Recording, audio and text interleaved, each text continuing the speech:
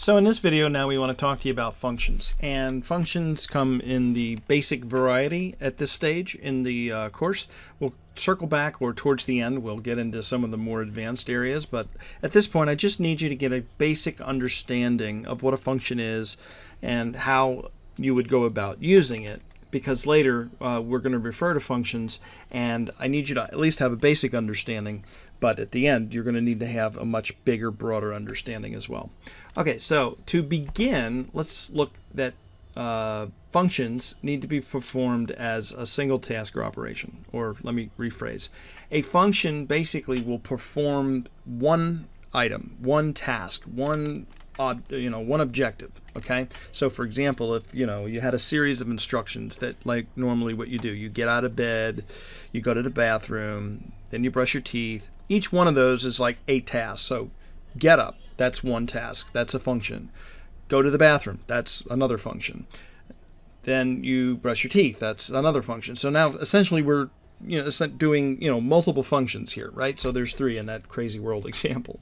All right, and so the thing to understand about functions is they have a name, just like variables, and they're usually followed up by a set of these parentheses of an opening and closing parenthesis. And so an example of what that might look like is this. Say hello with the opening clothing, closing of parentheses. So anytime you see a command like this in code or in a low code, no code platform, it is a function. And some of these functions, when you execute them just like that, it performs its single task or operation. Well, this task of this particular function, its job is to just say hello. And so it did. And so you'll see output similar to that. And then you'll have functions that do not always, but usually, almost always, return some sort of a value. And um, while that's true, I do need you to understand that there are some cases in which functions don't return any values at all. Um, it does happen, but expect it to generally return something, okay? And if we move along into that, the other part about functions is they can start to accept or receive values or pieces of data into it. So you can kind of see where this course is going. Like each part is building on the last one. So if you've already started guessing, hey, can I pass a variable into the function? The answer is absolutely yes, and it's very common and acceptable to do so. So if you were already thinking of that, congratulations. You, uh, you already think like a programmer, and so picking all of this up is going to be super easy for you.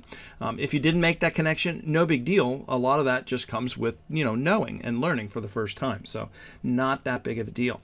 In any event, um, if we use the last function that says hello, if you know, as I said earlier, my name is David, and if I used my name and I passed the name David into the function, it could be made to use my name and return my name as part of whatever it does. And in this case, it's supposed to say hello, right?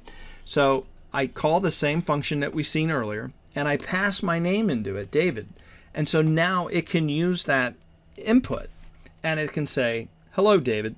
And so the idea here is that inside of the function, you'll receive the you know the item, the piece of data, and you'll use that in whatever it's doing inside of the, the function.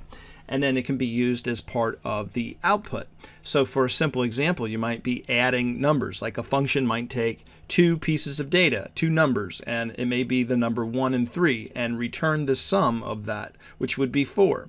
And so while I'm not returning one or three in that, the return value is a compilation or a summation or aggregation or, you know, solving the equation of adding two numbers together. So in any event, not to overcomplicate it, but you can see here that whatever you put in, it comes out in some regards, either calculated or just a string text like you're seeing here. And the other thing to talk about is that when you pass in data into the function, you can pass in one or more pieces of information. Now I keep saying pieces of information, but the technical term is called a parameter.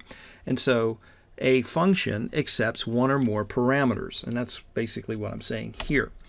And parameters can either be not required at all, which is what we first saw when we just called the hello function and didn't pass in David and it just said hello. Then you have some that are required. Now maybe my say hello has been changed and I need to always you know, say hello with some input. I need to have that input. And so in that case, it's required. And in some cases, I could program the function to say, okay, I will optionally take in an input, and if you provide it, I'll include that information.